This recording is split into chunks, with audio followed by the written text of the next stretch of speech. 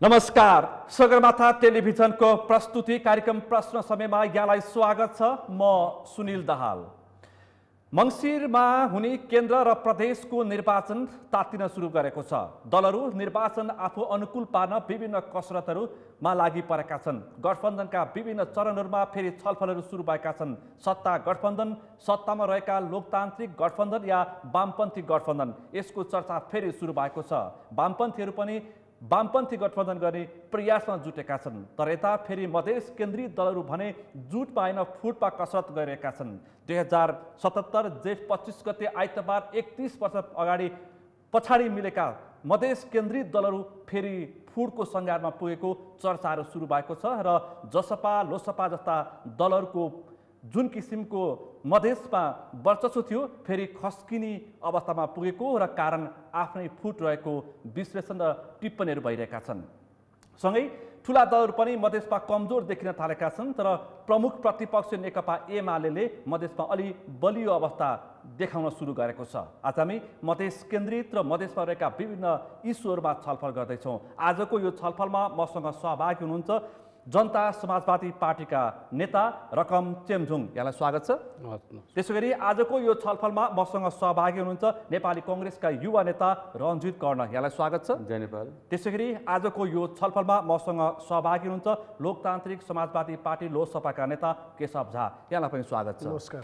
यहाँहरू तिनैजनालाई म स्वागत गर्छु विशेष गरी मधेस केन्द्रीय दलहरूको अहिलेको पछिल्लो अवस्था। म रकम चेमजुङबाट यो कार्यक्रम प्रारम्भ गर्छु। उपेन्द्र यादव र डक्टर बाबुराम भट्टराईको टक्रापले फेरि मधेस केन्द्रित भनौँ। तपाईँहरू सबै क्षेत्रमा सबै जिल्लामा पार्टीको वर्चस्व छ भनिरहनु भएको छ तर विशेष गरी मधेसमा देखिएको छ। दुई नम्बर प्रदेश र एक नम्बर प्रदेशमा अथवा मधेस प्रदेशमा किन फेरि फुट्न खोजेको? म छलफल यहीँबाट सुरु गर्छु। सुनिलजी एउटा कुरो त म के भन्न चाहन्छु भने जसपा मधेस केन्द्रित मात्र होइन। यो चाहिँ राष्ट्रिय पार्टी हो। चाहिँ सम् सम्बन्धित हिसाबले राष्ट्रिय पार्टी हो र सङ्गठनको हिसाबले र प्रभावको हिसाबले पनि राष्ट्रिय पार्टी हो। हामी सबै जिल्ला सबै प्रदेशमा चाहिँ के भने प्रभाव राख्छौँ। दोस्रो कुरो के भने तपाईँले जुन प्रश्न गर्नुभएको छ बाबुरामजी र प्रचण्ड के अरे हाम्रो उपेन्द्रजीको बिचमा केही कन्फ्लिक्ट छ कि भन्ने केही विवाद छ कि भन्ने कुरो।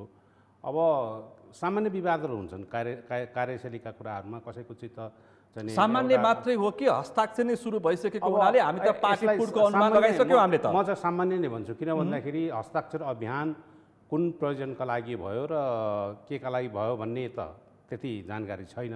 तर जस हस्ताक्षर अभियान हस्ताक्षर अभियान बाबुराम पक्षका नेताले उपेन्द्रलाई पार्टीबाट निष्कासन गर्ने उपेन्द्रको प्रतिकार म- पार्टीबाट निष्कासन गर्ने। जस जसपाको एउटा जिम्मेवार चाहिँ कार्यकर्ताको हिसाबले म के भन्न चाहन्छु भने त्यहाँ बहुमत पुर्याएर चाहिँ नि कसैलाई हटाउने वा चाहिँ नि चालिस प्रतिशत पुर्याएर पार्टी अर्को बनाउने भन्ने त्यस्तो सम्भावना साङ्ख्यिकी हिसाबले त्यो सम्भावना छैन।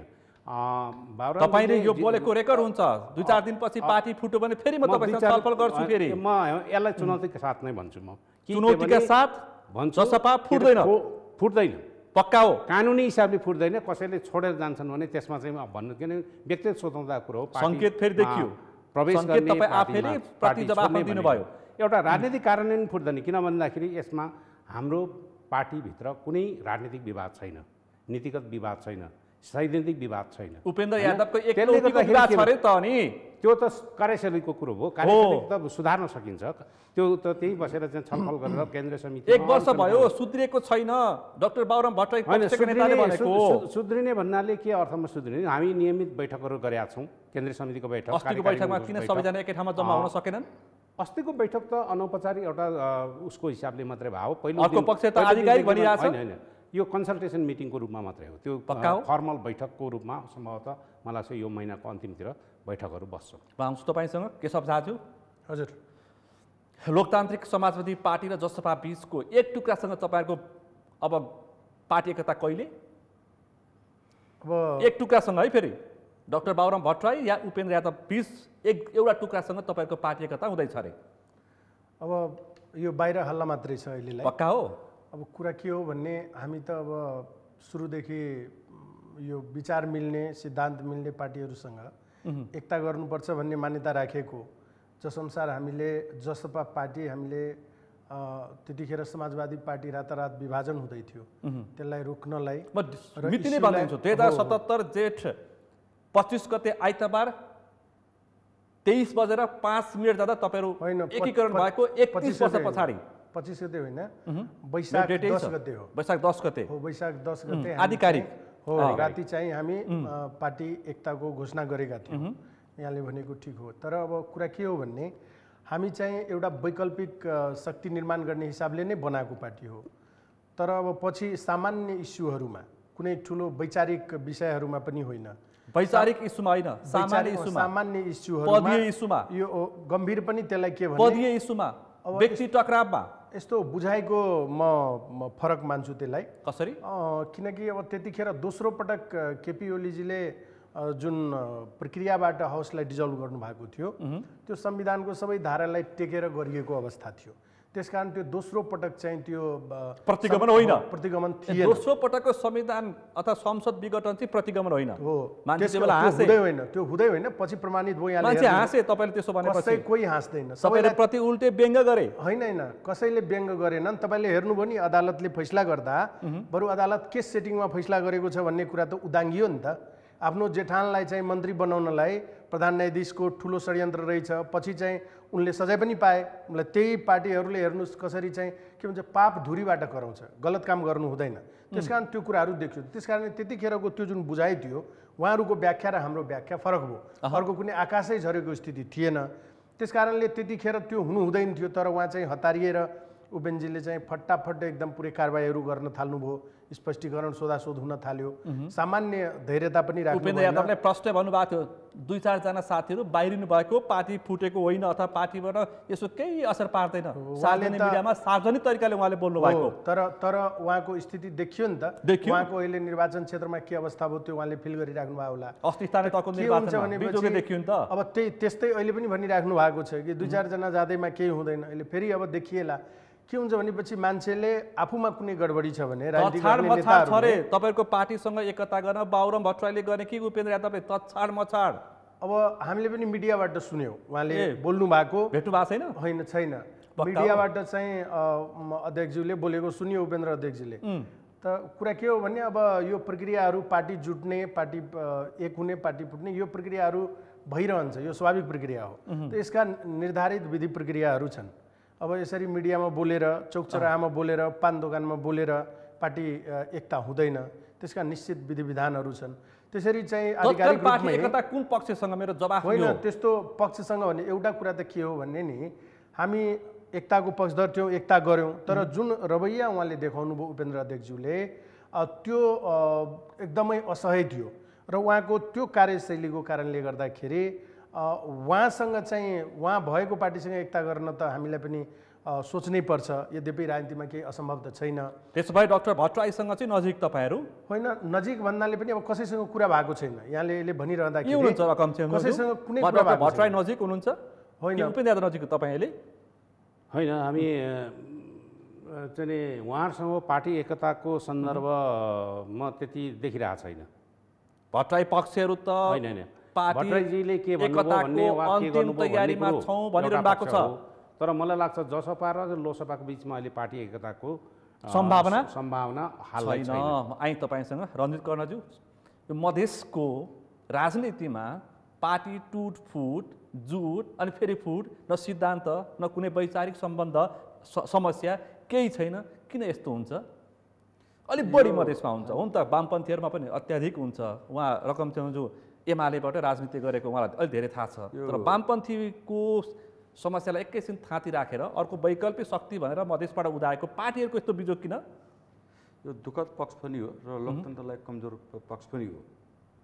र अझ गरी मधेस मात्र होइन कम्युनिस्टमा वामपन्थीमा देखियो त्यो कुरा चाहिँ। मैले वामपन्थीलाई एकैछिन थाँती राखेँ। उनीहरूसँग छुट मैले छुट्टै छलफल गरेको छु। के छ भने उहाँले भन्नुभयो आज उपेन्द्र यादवजीको पार्टी जो बाबुराम भट्टराई सबै हुनुहुन्छ जसपा यो राष्ट्र पार्टी हो। उहाँलाई म स्वागत गर्न चाहन्छु। तर उपेन्द्र यादवजी मधेसको नाममा पार्टीको नामै छुट्यो थियो मधेस समाजवादी नाम भन्ने मधेस पार्टी थियो छुट्टै पार्टी हो। थियो नामै मधेस थियो उहाँको। मधेसी जनअधिकार फोरम। हो छुट्टै पार्टी थियो। र मधेस विद्रोह भयो मधेस जन आन्दोलन भयो भयो। मधेसको इस्युहरूलाई लिएर जानुभयो। मधेसी जनताहरू निकै मारियो निकै घाइते पनि भयो शहीद पनि भए। हो? यो लोकसभासँग अब कुरा हो। आज अहिले त्यो बेला मलाई लाग्छ उहाँहरूको पार्टीको नाम मधेस तराई मधेस आवत पार्टी थियो तराई मधेस लोकतान्त्रिक पार्टी थियो। मधेससँग जोडिएको पार्टी थियो। म म धेरै पुरानो कुरा गर्न चाहन्न गत संसदीय र प्रादेशिक निर्वाचन म कुरा गर्न चाहँदैछु। हो? त्यसको आधारमा सांसद बन्नुभयो बन्ने अब सङ्ख्या पनि हाम्रै पार्टी भयो सारा भयो होइन? त्यति मात्र होइन। निर्वाचनको क्रममा एलायन्स पनि गर्नुभयो गठबन्धन गर्नुभयो र उहाँले एउटा गठबन्धन एउटा सन्देश के दिनुभयो भने हामी मधेसको मधेसिया हो मस मसिया हो। हामी मधेसको समाजका समाधान गर्न चाहन्छौँ प्रतिबद्धता व्यक्त गर्नुभयो। हो? ठिक छ। हामी नेपाली काङ्ग्रेसको ल हामीलाई पहिले थाहा थियो उनीहरूको मधेसी जनतालाई गुमराह मात्र गर्न खोजी खोजिँदै हामीलाई थाहा थियो। ए नेपाली थियो। हामीलाई थाहा थियो। पत्तो थियो। किनभने किन कारण के थियो? मधेसकै सन्दर्भमा मधेसको जुन समस्याहरू थिए त्यो बेला चाहिँ नेपाली काङ्ग्रेसको नेतृत्वमा संविधान हामीले घोषणा गरिसके गरिसकेपछि पनि नेपाली काङ्ग्रेस नेतृत्वमा पाँचवटा बुदाहरू नेपाली काङ्ग्रेसले संशोधनको लागि चाहिँ संशोधन दर्ता गरेको अवस्था थियो पछि चाहिँ हाम्रो मोहन ठाकुरजी राजेन्द्र महतोको पार्टीका साथीहरू पनि र उपेन्द्र यादवको साथीहरू पनि नेपाली काङ्ग्रेसको मुद्दा सही छ जुन संशोधनको लागि जुन दर्ता भएको छ त्यसमा हाम्रो पनि सहमति छ हाम्रो पनि मागै हो भएर नेपाली काङ्ग्रेस आफ्नो कुरा स्पष्ट हो तर उहाँले त्यति मात्र। होइन सप्तरीको मलेटमा ठुलो दुर्घटना पनि भयो मान्छे पनि मारियो मारिए। र यी स- र र त्यसकै उहाँहरू भोट माग्दाखेरि मधेसी जनताको लासमाथि बसेर भोट माग्नुभयो सुन्नुहोस् है। र लास ला- भोट माग्नुभयो। ठुलो पार्टी आज। हेर्नुहोस् आज न उहाँहरूको जुन यो लोकसभा र उपेन्द्र यादवको पार्टीको जुन एक किसिम एकीकरण भएको थियो निर्वाचनको बेलामा त्यो पनि छैन एक फेरि पार्टी अर्थ पद बाँडफाँड भयो बाँडफाँड भयो यति मात्र होइन अनि यति मात्र होइन यो निर्वाचन? निर्वाचन जितिसकेपछि उहाँ जुन जसो कारणले सप्तरी जिल्लाको मलेट काण्ड भएको थियो शहीद भएका थिए नि। त्यही पार्टीसँग ओलीसँग। उहाँले यो एकी यो सरकारमा जानुभयो उपेन्द्र जानुभयो। पछिल्लो। जानुभयो। एक होइन पछि गएर लोकसभा पनि त्यही पार्टीको समर्थनमा उप यो हाम्रो केपी ओलीसँग जानुभयो लोकसभा पनि जानुभयो। दुई। दोस्रो पटक तपाईँले प्रतिगमन भनेको दोस्रो पटक संविधान संसद विघटनलाई उहाँले ठिक छ भन्न खालको आशय व्यक्त गर्नु जसको विरुद्धमा उहाँले मधेस आन्दोलन भएको थियो मधेस मधेसमा मान्छे मारिएको थियो दुई। तेस्रो कुरो चाहिँ उहाँको जुन मधेस शब्द थियो तराईको शब्द थियो त्यो हटाइदिनु भयो। अझ उपेन्द्र यादवले के भन्नुभयो भने हाम्रो पार्टीको सन्दर्भमा चाहिँ उपेन्द्र यादव मधेस भन्ने शब्दलाई हामीले नजोड्नुहोस् राष्ट्रिय पार्टी बनिसक्नु जोड्नुभयो त्यो राष्ट्रिय। पार्टी भएपछि क्षेत्रीय पार्टी त हुँदैन नि त। अनि एउटा कुरा के छ भने यी कुरा भइसकेपछि मधेसी जनतालाई गुमराह गर्ने मात्रै प्रयास गरियो। हो? हामी भनेका थियौँ। नेपाल यो। हामी बारम्बार के हो? भनेको थियौँ उहाँलाई हामी के भनेको थियौँ? एकैछिन हो? जहाजु होइन यस्तो तपाईँहरूको यस्तो तपाईँको राजनीतिको त्यो हो। जुन पार्टी यो देशमा सबभन्दा ठुलो अपराधी पार्टी हो जो पार्टीको नेपाली कङ्ग्रेस। नेपाली कङ्ग्रेस। आपराधिक पार्टी। अपराधी पार्टी। जुन जनताको भोट लिएर आउने भोट ब्याङ्क चाहिँ मधेस हुने तर मधेसको कहिल्यै कुनै माग मुद्दा सम्बोधन गर्न नपर्ने। बडा एकदम ढुक्क आनन्द छ। नेपाली हो कङ्ग्रेसलाई अनि अरूलाई चाहिँ ब्लेम गरिराख्ने कि फलानुले केही गरेन। सबभन्दा बढी भोट मधेसबाट कसले लिएको छ? नेपाली काङ्ग्रेसले। त्यहाँको मुद्दा कसले समाधान गर्नुपर्ने हो? हामीहरूले। नेपाली कङ्ग्रेस सधैँ सत्तामा बस्ने सधैँ सत्तामा रहने आज चाहिँ सत्तरी वर्षको नेपाली काङ्ग्रेसको इतिहास हेर्नुहोस् न एकचोटि फुटेको पार्टी हो। दसौँचोटि त्यहाँ चाहिँ हाम्रो पहिचान अधिकारको कुरा भएन भनेर दसौँचोटि पार्टीबाट मान्छेहरू निस्कि निस्कि छुट्टै पार्टी बनाएका छैनन्। अनि काङ्ग्रेस पार्टी मात्रै मोहन ठाकुर किन भन्नुहुन्छ? गजेन्द्र नारायण। सिंह पनि त्यही काङ्ग्रेस छोडेर निस्केको हो नि। अनि भद्रकाली मिश्रहरू पनि त्यही काङ्ग्रेस छोडेर छुट्टै पार्टी बनाएको हो नि। तराई कङ्ग्रेस त्यतिखेर गठन गरेको हो नि। भनेपछि त्यो पार्टी त्यो पार्टीको यहाँले विचार हेर्नुभयो भने सुरुदेखि कुरा एउटा गर्ने काम केही पनि नगर्ने। खालि कुरा गर्ने लोकतन्त्रको कुरा गर्ने लोकतन्त्रको कुरा गर्ने। यो एकदम यथास्थितिवादी रूढिवादी पार्टी परम्परागत शैलीमा चल्ने नेपाली कङ्ग्रेस? नेपाली कङ्ग्रेस। जनताको आकाङ्क्षा अनुसार अगाडि बढ्न नचाहने नेपाली कङ्ग्रेस? परिवर्तन नरुचाउने नेपाली कङ्ग्रेस? नेपाली कङ्ग्रेस। अनि यो पार्टीका साथीहरूले उल्टै परिवर्तनको चाहना लिएर अधिकार प्राप्तिको आन्दोलन गर्दा उल्टै त्यो पार्टीहरूलाई ब्लेम गर्ने। यो खास यो पार्टी भनेको कस्तो पार्टी हो भने नेपाली काङ्ग्रेस? कस्तो पार्टी? यो एकल राष्ट्रिय राज्यलाई मात्रै बढावा दिने। आज देश संहितामा एकल राष्ट्र के भन्न खोज्नु भयो? एकल राष्ट्रिय राज्यको संरचनामा हिँडिरहेको छ। यो पार्टी चाहिँ कहिले पनि संहिताको छैन। लज्जा ग्रसित छ। लज्जा पनि शब्द पनि हुन्छ। नैतिकता पनि शब्द नस्लीय सुन न। चिन्तनबाट मैले के ग्रसित भने पार्टी हो लज्जा कि र नैतिकता नभइसक्यो जे पनि हुन पाइयो हो नाङ्गो हुने अनुहार छोप्ने जे पनि बन्न पाइयो खालि है, गर्ने। होइन एउटा कुरा के छ। भने हामीले यथार्थ कुरा के भन्नुपर्छ भने मधेसमा गएर मधेसको सन्दर्भले के बोल्नै सक्नुहुन्न जुन जुन राजनीतिक दल मधेसीको नाम होइन यति मात्र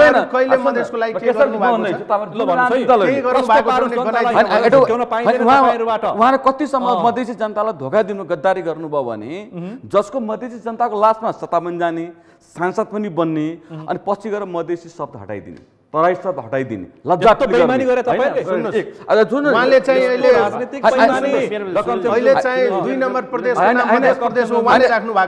एउटा कुरा के भन्नुपर्छ भने एउटा कुरा के भने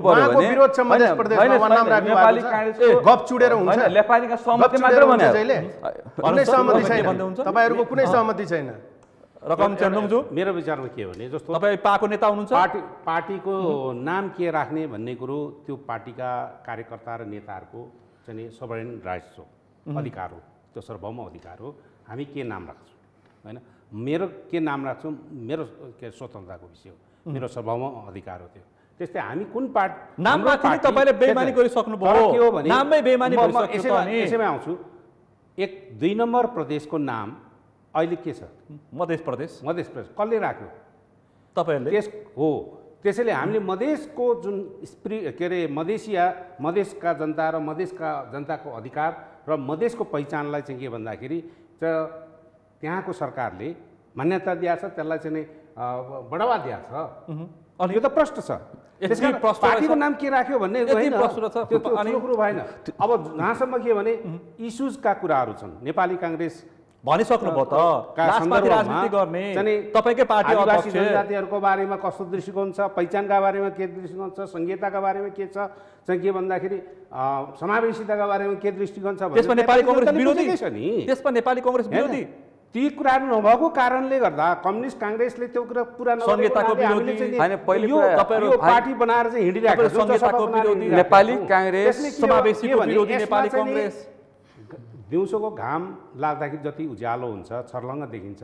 नेपाली काङ्ग्रेस नेपाली के हो भन्ने कुरो नेपाली कङ्ग्रेस दिउँसै। अँध्यारो पानी राजनीतिमा एउटा चाहिँ राइट पुरानो नेताले भनेको वामपन्थी पनि बुझेको नेता हो मात्र ट्र्याकमा हिँडेको अनि अब यथास्थिति राजनीतिक दल ल यो भन्नुहोस् यथार्थ हो। तपाईँसँग म अब अग्रगामी सोचहरू स्वाभाविक रूपमा उहाँहरूलाई पच्दैन मधेस आन्दोलन उहाँलाई पचिरहेको छैन काङ्ग्रेसलाई पचिरहेको। उहाँहरू होइन उहाँहरू- कति पचिराखेका छैन यो। संविधान यो संविधानको पक्षपाती यो संविधान तत्कालीन प्रधानमन्त्री सुशील कोइरालाले नेतृत्व नगरेको भए यो संविधान आउँदैन थियो यतिसम्मको परिवर्तन पनि संस्थागत हुन सक्दैन थियो भन्ने उहाँहरू होइन। अनि त्यसो भन्ने त नि। त्यो त के भने प्राइम मिनिस्टर उहाँ हुनुहुन्थ्यो।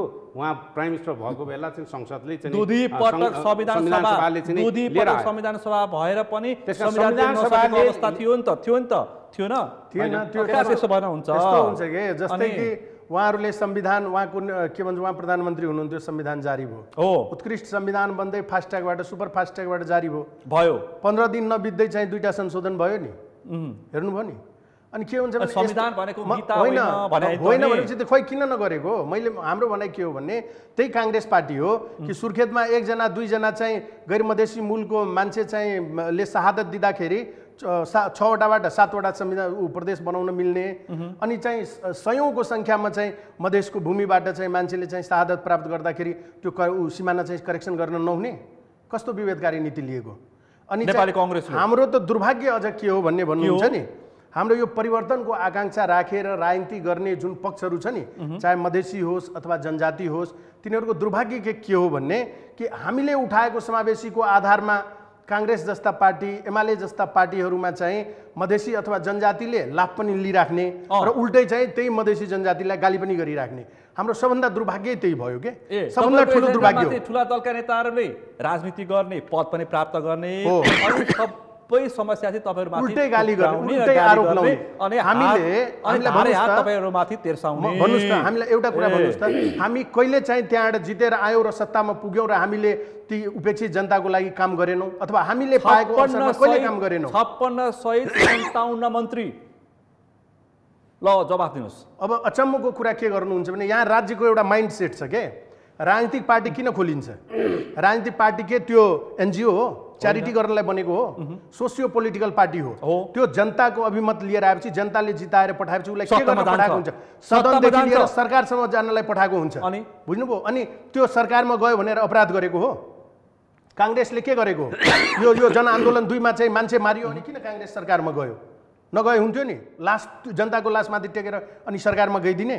अनि चाहिँ के भन्छ काङ्ग्रेसले चाहिँ त्यो के भन्छ क्रान्ति सुरु गर्दाखेरि सुरुमा चाहिँ उनीहरूको चाहिँ त्यो। जनमुक्ति सेना थियो जनमुक्ति सेनाको लिएर। सशस्त्र आन्दोलन गर्दाखेरि। चाहिँ उहाँहरू उहाँहरू लासमाथि। टेकेर। चाहिँ जानुभएको थिएन के गर्नुभयो नि ल के गर्नुभयो यो। पहिलो कुरा के पहिलो कुरा के छ। भन्दा जे पनि भन्दा पनि हुन्छ उहाँ जीवन भन्न पाउनुहुन्छ। हो उपेन्द्र यादवजीलाई मोहन ठाकुरलाई राज महतो महतोजीहरूलाई मधेसको नाममा जे भन्न पनि पाइन्छ छुट छ उहाँलाई तर मधेसी जनताको बिचमा उहाँलाई भन्न छुट छैन अब चाहिँ हो। उहाँले मिडियामा मात्रै बोल्ने अब चाहिँ अब जनताको बिचमा चाहिँ उहाँले बोल्न। सक्नु न पहिलो कुरा चाहिँ। किनभने अहिलेको स्थानीय निर्वाचनले पनि नेपाली काङ्ग्रेस मध्य प्रदेश पहिलो पार्टी बनेको छ पहिलो कुरा एक नेपाली काङ्ग्रेस गुमराह गर्न चाहदैन कसैलाई। नेपाली नेपाली काङ्ग्रेस कसैले गुमराह गर्न चाहदैन। वैशाख 30 को हो, स्थानीय तहको र निर्वाचनमा तपाईँले- अघि के भन्नु गठबन्धनको भयो भने। आज के भन्नुभयो? आज किन मधेसी पार्टी किन पुट्छन् पहिला फन्डामेन्टल कुरा के छ भने मधेसी पार्टीको नाममा भएका यो नेताहरू मधेसको लागि खुलेको पार्टी होइन यो। मधेसको नाममा मधेसको जनताको नाममा सत्ताको लागि मात्रै खुलेको पार्टी हो। कुनै सैद्धान्तिक कुरा के छैन। हो चारवटा कुरा मधेसको कुरा नाम लिनु ऊ टिक्नै सक्नुहुन्न उहाँहरू। मधेस नाम भ्रष्टाचारी गर्नुपर्ने मधेस नाम मधेस लुट्नुपर्ने मधेसको नाम सारा लिनुपर्ने गरिराख्नु पर्ने हो अनि अनि हामी सच्चा मधेसी दल भन्ने। त नेपाली काङ्ग्रेस के भन्न चाहन्छ भने हामी अनावश्यक कुरा नगरौँ विकासको कुरा गरौँ। अब मधेस पहाड पनि हेरौँ हिमालय पनि हेरौँ। यो नेपाल सबै नेपालीको नेपाल नेपाल हो।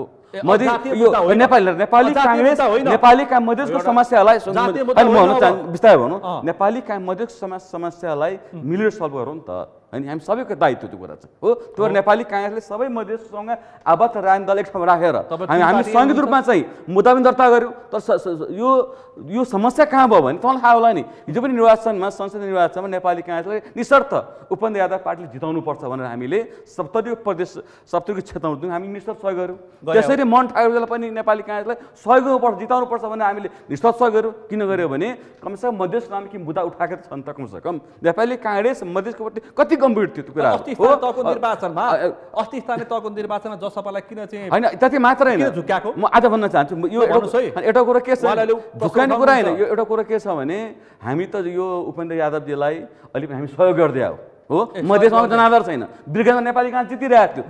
भोट दिउँ दया गरिदियो सुन्नुहोस् उहाँको कुनै जनाधार छैन कुरो एउटा कुरा आज।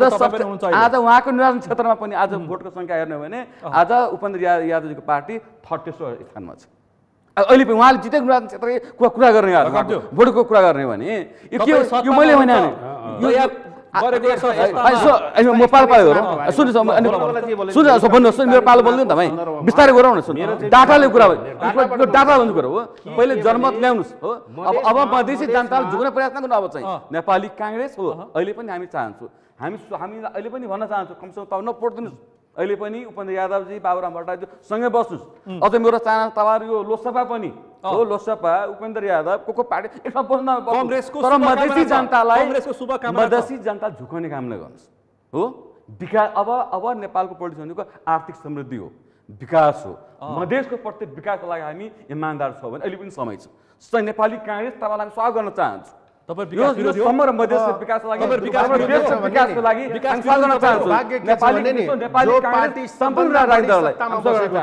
उसले आज विकासको गफ हाँक्दैछ। सबभन्दा सुन्नुहोस् जो सबभन्दा बढी सत्तामा बसे जो पार्टी आजसम्म। त्यो पार्टी विकासको गफ मार्दैछ। कसले रोकेको थियो? मधेसको एक छत्र सुन्नुहोस् छोड्नुहोस् न यस्ता कुराहरू? मधेसको एक छत्र भोट ल्याउने पार्टी थिएन। अनि खोइ विकास गरेको? आज त्यही बिपीदेखि लिएर अहिलेको यो शेरबहादुरसम्म चाहिँ सबैले चाहिँ यो के भन्छ हुलाकी राजमार्गको नाममा राजनीति गरे। खोइ आजसम्म बनेको। त्यस्ता त्यस्ता सयौँ राजमार्गहरू बनिसक्यो। उहाँहरूको मुखमा बोली छैन। उहाँहरू चाहिँ यहाँ आएर गफ दिनुहुन्छ। पार्टीभित्र चाहिँ चुई गर्न सक्नुहुन्न। भोट मधेसले दियो त खोइ त्यहाँको माग मुद्दा सम्बोधन गरेको? तपाईँको दायित्व होइन? किन गर्न सक्नु भएन?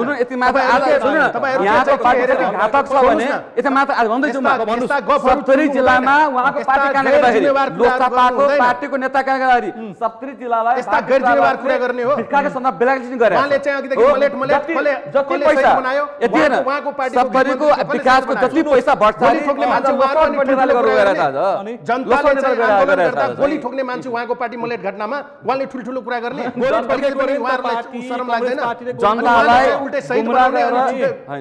उहाँले आजसम्म के गर्नु भएको छ एउटा काम भन्नुहोस् न। के। देश विकास भयो? भन्नुहोस् त। उहाँहरू नै अहिलेसम्म देश अहिलेसम्म- चलाइराख्नु भएको छ देश विकास भयो? कसले रोकेको थियो उहाँलाई उहाँहरूले खालि गफ हाँक्ने दुनियाँमा तपाईँले कहीँको एउटा उदाहरण देखाइदिनुहोस् कि राजनीतिक माग मुद्दाको समाधान बेगर त्यहाँ विकास भएको कुनै देश देखाइदिनुहोस्। तपाईँले भन्नुहोस् त यो त युनिभर्सल ल हो नि बिना शान्ति समृद्धि सम्भव छैन। त शान्ति कसरी हुन्छ? जब त्यहाँ राजनीतिक प- कुराहरू उठान भएको छ मुद्दाहरू सारा आदिवासी जनजातिदेखि लिएर मधेसी खस आर्य सबै जो उत्पीडित जात जाति समुदाय छ जो राज्यबाट टाढा छन् सं- तिनीहरूको माग मुद्दा खै सम्बोधन गरेको? सिद्धान्त र राजनीतिक कुरा गर्ने तर सत्तामा पुगेपछि जनता के हुन्छ? तपाईँले समस्याको समाधान हुँदैन। त्यसमा प्रधानमन्त्रीले राजावाला शैलीमा सरकार चलाउने। अनि प्रधानमन्त्रीले चाहिँ मन्त्रीहरूको कुनै निर्णय उनीहरूले गरेको जस्तो हुन्छ। प्रधानमन्त्रीको एकल निर्णय चल्छ क्याबिनेटमा। एक त वेस्ट मिनिस्टर मोडेल छ। त्यो मोडेलले यो देशको विकास हुन सक्दैन। अहिले जसरी सबै फेल भएको। काङ्ग्रेस कम्युनिस्ट सबै पार्टीहरू यो देशमा फेल भएको हो। जबसम्म बागडोर पहिचानवादी पक्षधरहरूको हातमा आउँदैन तबसम्म यो देश समृद्ध हुँदैन। भर्खरै यहाँले सुन्नुभयो राष्ट्र ब्याङ्कको गभर्नरले भन्यो देश चाहिँ श्रीलङ्काको बाटोमा जाँदैछ। कसले लगेको हामीले। लगिदिएको हो। आर्थिक सङ्कटमा हामीले लगेको हो फस्दैछ। यतै काङ्ग्रेस कम्युनिस्टले। लगेको हो? अनि अलिकति पनि उन लाग्ने जनताप्रति यही हो उत्तरदायी ल अलिकति भन्नुहोस् त। ल ल म एक दुईवटा कुरा म धेरै लामो भन्दिनँ। ल भन्नुहोस् त। पहिलो कुरो लोकल के अरे स्थानीय तहको निर्वाचनका सन्दर्भमा नेपाली काङ्ग्रेस राष्ट्रिय रूपमा। राष्ट्रिय रूपमा एक नम्बर अथवा सबैभन्दा धेरै सिट जित्नेमा पर्यो। पर्यो। त्यसको एउटै कारण हो के भने कि गठबन्धनको बलले उहाँहरूले सबैभन्दा ठुलो दलले गठबन्धन गरेपछि ठुलो दलले धेरै फाइदा लिन्छ। त्यो कारणले गर्दा। पहिलो दलको रूपमा स्थापित हुनुभयो। चुनावबाट अब तर मधेसको मात्र हिसाब गर्ने हो भने मधेसमा सङ्ख्याभन्दा पनि के भने हामीले ए पपुलर भोटबाट हिसाब गर्ने हो भने मधेसमा पपुलर भोट नेकपा एमाले बढी ल्याएको छ। हो। पर्सेन्टेजको हिसाबले भन्नुपर्छ। लगभग एक लाख बढी ल्याएको होइन? नेपाली काङ्ग्रेस स्थिर छ। होइन? उसको बढ्याम छैन घट्याम छैन। र जसपाको केही हदसम्म बढ्या छ पपुलर भोट बढ्या छ सङ्ख्या घट्या होला। मत? सङ्ख्या? मत सङ्ख्याको कहाँ। पुग्यो फेरि? सिट सङ्ख्या अलिकति घट्या कहाँ पुग्यो भने? तिन चार सिट त कम भयो। होइन? तर के भने हामी केही? ठाउँमा पपुलर पपुलर भोट हामी चाहिँ पहिले चार प्रतिशत थियो भने अहिले छ प्रतिशतको हाराहारीमा हाम्रो पुग्यो। त्यसैले के भने मधेसमा पपुलर भोटको हिसाबले भन्ने हो भने कङ्ग्रेसको बढ्या होइन। होइन। र सङ्ख्याको हिसाबले हो भने त गठबन्धनमा चाहिँ नि ठुलो दलले स्वाभाविक रूपमा बढी फाइदा लियो। गठबन्धनभित्र पनि गठबन्धन- पनि माओवादी केन्द्र अथवा देउबा र प्रचण्डको सेटिङ भएछ। माधव नेपाल र उपेन्द्र यादवले पत्ते पाइन्छन् अनि? होइन पत्ता पाएनन् भन्दाखेरि तपाईँले भनेको, आफ्नो। ठाउँमा छ। मैले भने के भने ठुला दलहरूले बढी फाइदा लिए। हो। हो। त्यसमध्येको अब नेपाली काङ्ग्रेसले बढी फाइदा लियो यो त्यस त्यसैले के भने निर्वाचन के हुन्छ? यो यो एउटा चाहिँ नि भने यो धरातलबाट चाहिँ हामीले हेर्नु मङ्सिरको निर्वाचन के हुन्छ? नर मङ्सिरमा निर्वाचन हुन्छ। गठबन्धन हुन्छ? गठबन्धन हुन्छ। तर समग्र? यो यो स्टाइलको चाहिँ गठबन्धन हुँदैन। अहिलेको गठबन्धन यथावत रहन्छ। लोकसभासँग मिलेर हुने हो। अब मैले अघि भने ज लोकसभासँग अहिले छैन। चुनावी गठबन्धन? चुनावी तालमेलका लागि हामी चाहिँ खुलै नि त फेरि। खुलै छौँ। गठबन्धन प्राथमिकतामा हाम्रो अहिलेकै गठबन्धन हो। धोका दियो भन्ने सेटिङ गर्यो भन्ने होइन त्यही प्रचण्ड र देउबाले सेटिङ के गरे भने भन्ने यो- तिनजना। उपेन्द्र यादव बाबुराम भट्टराई अनि माधव नेपाल झलनाथ खनालको कुरा चाहिँ अलिक प्रचण्डको चाहिँ अलिक बुझिन सक्नु छ सेटिङ भयो भन्ने हेप्यो भन्ने कङ्ग्रेसले अनि फेरि गठबन्धन चाहिँ चाहिन्छ चाहिन्छ चाहिन्छ भन्ने। अनि गठबन्धन आवश्यक छ। हामी। त भनिरहेको छौँ त्यसमा। यही गठबन्धनलाई निरन्तरता दिनुपर्छ र त्यसमा भन्दा अलि के भने यसमा केही प्रतिशत होला। सबै के अरे रामचन्द्रजीले 165, भर्खरै 165 रामचन्द्रजीले भर्खरै भन्नुभयो? भर्खरै भन्नुभयो सबैसँग के अरे सिट चाहिँ नि तालमेलमा पठाएर चाहिँ हामी जोगी बन्ने भनेर भन्नुभयो। स्वाभाविक हो त्यो। स्वाभाविक हो बिस तिस चालिसमा त्यस्तैमा होला? बाँकी अरूमा त अरूसँग। अरू कोहीसँग होला? उन्नाइस सिटमा ठिकै छ उन्नाइस सिट होला दसैँ सिट होला के फरक परेन त गठबन्धन गठबन्धन बाँकी अरू अरू ठाउँ अरूसँग होला। जस्तो ल हामी लोकसभासँग पनि गर्न सक्छौँ मधेसको हकमा पाहाडमा अरू कुनैसँग हो- हुन सक्ला। त्यो त्यो एउटा चाहिँ नै गठबन्धन अलिक फराकिलो ढङ्गले हुन्छ होला भन्ने मेरो अनुमान अब अर्को कुरो के हो भने विकासको कुरो हुनु मधेसमा विकास त भएर रहन्छ नि त अहिले सोसियो इकोनोमिक हिसाबले तपाईँले सर्वे गर्नुभयो भने सहित गरिबहरूको तपाईँहरू विकास। विकास हुन्छ त? होइन होइन हाम्रो सरकार अहिले मधेसमा चाहिँ नि हाम्रो नेतृत्वमा सरकार छ। होइन त्यो सरकारले प्रयासहरू गरिराखेको छ तर यो मुलुकमा समग्र भ्रष्टाचार भयो। दुई वर्ष तिन वर्ष सुन्नुहोस् न। दुई तिन वर्षमा सबै मुख्यमन्त्री हुनुहुन्छ। हामी त छ्यालिस साल सडचालिस सालदेखि आजसम्म काङ्ग्रेस र कम्युनिस्टको शासनमा बसिरहेको छौँ नि। प्रधानमन्त्री को भयो? काङ्ग्रेस भयो या त कम्युनिस्ट भयो या त काङ्ग्रेस या त कम्युनिस्ट। होइन जसपाको भएको छैन लोसपाको नि त भएको छैन नि होइन? त्यसले गर्दा के हो भने यो काङ्ग्रेस कम्युनिस्टको? शासनमा आज मुलुक कहाँ पुग्यो भन्ने हो? मधेस कहाँ पुग्यो भन्ने हो? आदिवासी जनजाति मधेसीहरूको हालत के भयो भन्ने हो। त्यसैले के भने यो जिम्मेवारी त काङ्ग्रेस कम्युनिस्टले लिनु पऱ्यो नि त। आज चाहिँ फाइनेन्सियल सेक्टर चाहिँ के भन्दाखेरि क्राइसिसमा छ होइन? के अरे श्रीलङ्का होला कि भन्ने पनि के भने अनुमान लगाइरहेछन्। समस्याहरू छन् त्यसैले। के भने यो समस्याको जड त के भने आज शेरबहादुरजीलाई मात्रै गाली गरेर त भएन। सडचालिस सालदेखि ज जसले शासन गर्दै आए त्यसकै रिजल्ट हो नि त यसो गरौँ त। त त्यो भने सडचालिस सालदेखि जो जो सत्तामा पुगे नेता कार्यकर्ता नेता पार्टीका जो सरकारको जो सत्तामा पुगे। जो नेतृत्वमा पुगे जो कर्मचारी छन् जो न्यायाधीश छन् जो न्यायालयमा छन् जो सुरक्षा निकायमा छन् यति आड गर्नुहुन्छ भने सम्पत्ति शुद्धिकरणमा लैजाउँ सम्पत्ति छानबिन गरौँ नि त देश पनि हाल्छ नि। के छ पैसा। नेतालाई आँट छ। एकदम। काङ्ग्रेस हामीले त भनेकै हो। त हाम्रो त हाउसमा सांसदहरूले बोल्नु। एकदम के भन्छ यो देश पनि हाल्छ नि, यति एकदम भनिरहेको छ त दुई हजार सात सालदेखि प्रजातन्त्र आएको दुई हजार 2007 सात साल। सात सालदेखि 2000 अहिलेसम्म 78, अहिलेसम्म 79, राज्यको। विभिन्न ठाउँमा बसेर राज्यको शक्ति दुरुपयोग गरेकाहरूको सबैको सम्- सम्पत्ति छानबिन गरौँ न ब्युरोक्रेट्सदेखि लिएर के भन्छ न्यायाधीश, प्रहरी, पुलिस न्यायाधीश प्रहरी नेता कर्मचारी सबैको सम्पत्ति छानबिन गरौँ हो सबैको छानबिन गरौँ। आफै प्रष्ट हुन्छ नि। जो हिजो चप्पल लगाएर। आएकाहरू अहिले महलमा बसेका छन् कहाँबाट आयो थाहा हुन्छ नि अनि? अनि त्यो गरौँ न त्यो त हामीले भनेकै छौँ त त्यो त्यसको निम्ति त हामी सबभन्दा अगाडि छौँ गरौँ न देखाउँ न अनि काम एउटा सिन्को नभाच्ने देशको विकास निर्माणको जम्मै आफ्नै हातमा बागडोर हुँदा केही पनि नगर्ने अनि अरूलाई दोष दिएर भएन नि। नेपाली कङ्ग्रेस हो। प्रष्ट जवाब दिनु पर्यो नि जनतालाई। नेपाली काङ्ग्रेसको शासनकालमा यो देशमा भएको कल कारखाना सबै बन्द भएको छ। त्यसको जवाब दिनु कङ्ग्रेसको देश बेच्ने कामहरू चाहिँ सम्भावित उसको जवाब दिनु परेन गरौँ न। तपाईँ मधेसमा अलिक सम्भावित नेपाली कङ्ग्रेस पूर्व। सांसद पनि हुन्छ। अनि एउटा कुरा। के छ यथार्थको लागि हामीले स्वीकार गर्नुपर्छ हो? नेपाली काङ्ग्रेसभित्र पनि गलत व्यक्ति हुनसक्छ कहिलेकाहीँ। हो? त्यसलाई हामीले गर्नु दिनु भन्नु। होइन हुनसक्छ हो।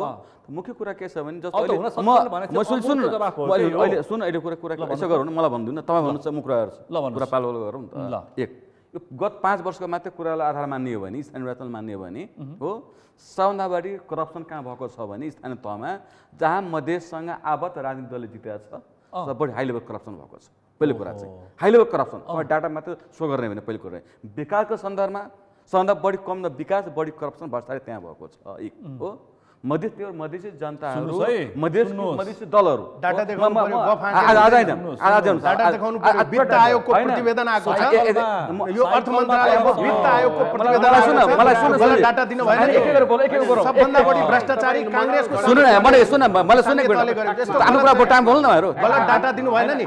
तपाईँले।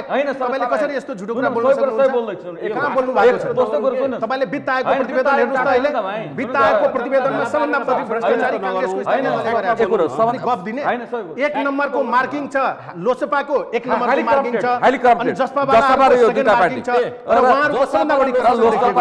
मोस्ट करप्टेड आयोगको प्रतिवेदन हेर्नुहोस् एक नम्बरको मार्किङ छ हो। होइन उपान्त यति मात्र होइन लोसपा- लोसपा अत्यन्तै सुन यति मात्र होइन सबभन्दा बढी भ्रष्टाचारी होइन, होइन। सत्तामा बस्यो उनीहरू अनि छन् अनि- नि। अनि मधेस जसलाई प- लुट्ने यति उनीहरूलाई मधेस उल्टै प्रदेशको चाहिँ मधेस सरकार होइन आरोप अहिले जसो सरकार होइन आज 10% भन्दा बजेट हो, खर्च भएको छैन, corrupted। कहाँबाट हो, भ्रष्टाचार भयो? एउटा यति मात्र होइन साइकलको केसमा पनि पैसा खाएर जो बेटी बचाओ अभियानमा साइकलको घटना अनि- थियो। त्यहाँ अनि पनि किन पैसा समर्थन खर्च गर्नुभएको? सकेन। एक मिनट, एउटा कुरा एक मिनट। एउटा कुरा के ल, विचार गर्नुपर्छ? किन भने- समर्थन गरेर मुख्यमन्त्री राख्नु भएको सोध्नुहोस् न। अनि किन एउटा समर्थन होइन, गरेको? हाम्रो कुरा स्पष्ट एउटा कुरा के अनि छ भने- उहाँहरूको होइन, कुरा अचम्मको छ के?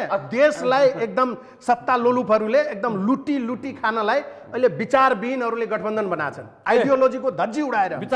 हेर्नुहोस् त यो काङ्ग्रेसको यो माओवादीको यो जसपाको विचार मिल्छ? के गर्नलाई गठबन्धन भएको बुझ्नु भएको छ तपाईँले? खानालाई हो। अनि अनि उनीहरूले चाहिँ उल्टै अरूलाई चाहिँ भ्रष्टाचारी देखाउने। जुन दुई नम्बर प्रदेशमा दस प्रतिशत बजेट खर्च भएको छैन त्यहाँ कहाँबाट भ्रष्टाचारी हो। गफ हाँक्ने। अनि उजुरी दिन लाउने उल्टै अनि एउटा उजुरी प्रमाणित हुँदैन। अख्तियार थापा मारेको एउटा हो। अख्तियारको एउटा उदाहरण बताउनुहोस् न मलाई कि कहाँ अख्तियारले प्रमाणित गरेको खालि अख्तियार जसलाई मन लाग्यो अनि जहाँ उनीहरू हारेको हुन्छ सिधै गएर उजुरी। हालिदिन्छ मारेको उजुरी। मात्रै छ। उजुरी मात्रै छ। प्रमाणित भएको छैन। दस पर्सेन्ट बजेट खर्च भएको छैन भ्रष्टाचार आज आज आज सुन्नु नाइन्टी पर्सेन्ट मिलिमिली बजेट खाने अनि त्यहाँ भ्रष्टाचार भएको छैन। किन काम गर्न सकेन? किन विकास गर्न सकेन? है। त होइन, विकास भएको छैन। गर्न सकेन आज चाहिँ? आज सारा बजेट स्थान तान्नु गएकै। हुन सके। हुन सकेन आज चाहिँ। जहाँ खाना हुन? पैसा खर्च भयो बजेट? खर्च भयो खाना नपाउने ठाउँमा पैसै खर्च पैसा भएन सुन्नुहोस् जहाँ जहाँ काङ्ग्रेस एमालेका व्यक्तिहरू जितेका छैनन्। त्यहाँ खालि उजुरी गएर हाल्ने। कामै गर्न नदिने मात्रै भयो यो चाहिँ। कामै गर्न नदिने उजुरी? हाल्ने। म फ्याक्टमा कुरो गर्छु। एउटै- अँ, एउटै- हुन्छ डाटामा कुरा कुरा गरौँ। होइन यसरी होइन, गर्न होइन, एउटा कुरा एउटा कुरा के यति मात्र होइन। यति मात्र होइन सुन न जुन जुन गाउँपालिकामा जुन जुन नगरपालिकामा खाद्यकै कुरा गर्ने हो भने हो सबैलाई थाहा छ। सिके रातको पार्टीले जनमतले बरु भण्डाफो गरेको थियो हो। होइन गत वर्ष ठिक पार्ने हो तपाईँलाई सुन सभा सुन। बरु खाद हाम्रो कुनै ठाउँमा चाहिँ भण्डाफोर भएको छैन। नेपाली काङ्ग्रेसले काङ्ग्रेस भएको छ सबभन्दा बढी भ्रष्टाचारमा यति मात्र होइन। काङ्ग्रेसले यो होइन होइन आज आज होइन आज के छ भने यिनी तपाईँहरू यो दुइटै पार्टीहरू। हो मधेसी जनताको लासमा उभिएको यो राजनीतिक दल अहिले चाहिँ। अहिलेको सन्दर्भमा चाहिँ। यो यो यो दु- देशको लागि दुर्भाग्यको कुरा हो। यस्ता हो, चाहिँ होइन? शहीदहरूलाई यो कुरा अपमानित चाहिँ- गरेर यस्तो होइन, शब्दहरू तपाईँ होइन, नबोल्नुहोस्। आज यति मात्र जसले होइन। चाहिँ यो देशमा परिवर्तन तपाईँलाई थाहा होला, दिएको हो? छ लास लास भनेर तपाईँले होइन, के अपमानित गरेर होइन, खोज्नु होइन, भएको तपाईँ- तपाईँ तपाईँ मात्रै लोकतान्त्रिक होइन, पार्टी हो। तपाईँ लोकतान्त्रिक पार्टी हो। मधेसको काङ्ग्रेस सन्दर्भमा। जस्ता पार्टी जसले हामीसँग दसवटा सहमति गरेको छ। किन पुरा गरेन? लोकतान्त्रिक पार्टी हो। मधेसी जनतालाई गर्ने। एकजना? व्यक्ति मधेसी जनतालाई। कहिले एक प्रदेश मधेस भन्ने कहिले के भन्ने। हो। तर लोकतान्त्रिक पार्टी हो सबभन्दा लोकतान्त्रिक पार्टी काङ्ग्रेस हो। खालि सहमति गर्ने एउटा माग मुद्दा पुरा नगर्ने। किन नगरेको? आँट गर्नु पर्यो नि हामीले उठाएको एउटा पनि माग मुद्दा गलत छ भन्नलाई। खालि चाहिँ गफ नागरिकता छुट्ने विधेयक एउटा खोइ माग मुद्दा टुङ्गेको। सम्बोधन नगर्ने नागरिकता विधेयक खोइ टुङ्गेको पहिले कुरा के बुझ्नु पर्यो नेपाली काङ्ग्रेसले दिएर सुन राखेर अनि चाहिँ करप्सनका बारेमा- भ्रममा राख्नु भएन नेपाल- आज नेपाल- पहिले नेपाली काङ्ग्रेसले अहिले पनि नागरिकता विधेयकको सन्दर्भमा। प्रधानमन्त्रीजीले सामान्य प्रधानमन्त्रीजीले पार्टी साथीले जीले निर्देशन दिइसक्नु भएको छ एक पहिलो कुरा चाहिँ हो दोस्रो कुरा होइन दोस्रो कुरा सुन। पहिले एउटा कुरा के बुझ्नु पर्यो भने नेपाली काङ्ग्रेस। मधेस पहाड हिमाल। सबैको समस्या समाधान तयार छ मधेसी होस् कि आदिवासी होस् कि जनजाति होस् कि दलित होस् कि महिला हुन्। सबैको विषयमा समस्या समाधान गर्ने पार्टी नेपाली काङ्ग्रेस नै हो। कुरा के छ भने भएको भएको? गर्ने गर्ने फटाकिने कुरा गर्ने भोट ल्याउने जस्तो पनि भाषण सबै गरिदिने, काम नेपाली जे पनि गर्ने। त्यो नेपाली काङ्ग्रेसले गर्न सक्दैन। हामी ढोङ्गी कुरा गर्न। सक्दैनौँ। हामी- कुनै पनि कुरा हामी पुरा लास्टमाथि राजनीति गर्न सक्दैनौँ। हामी हामीले बोल्नु। रूपमा जनताहरूलाई हामीले कि गर्न सक्दैनौँ।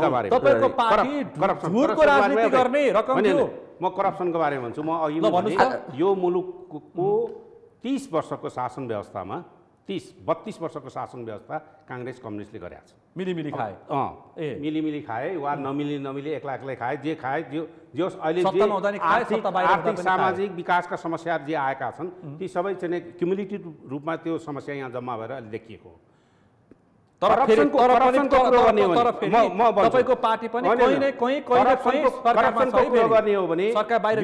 यो मुलुकमा अँ। ती यो बत्तिस वर्षको इतिहासमा सबैभन्दा करप्टेड रूपमा प्रमाणित भएको। अख्तियारले प्रमाणित गरेको नेपाली काङ्ग्रेसकै नेताहरू म नामै लिएर भन्छु चिरञ्जीवीजीलाई पनि अख्तियारले चाहिँ के भने कारवाही गर्यो होइन गोविन्दराजीलाई कारवाही गर्यो जयप्रकाशजीलाई का उहाँ काङ- काङ्ग्रेसमै हुँदाखेरि कारवाही गर्यो अहिले पछिल्लो कालमा हाम्रो चाहिँ नि गसदाजीलाई पनि गसदा, कारवाही-। मलाई लाग्छ त्यति धेरै कारवाही हो गया कुनै पनि अरू राजनीतिक दलमा छैन यसले के देखाउँछ? कुन चाहिँ पार्टी करप्टेड हो भन्ने देखाउँछ। होइन? एमालेमा नि होलान्।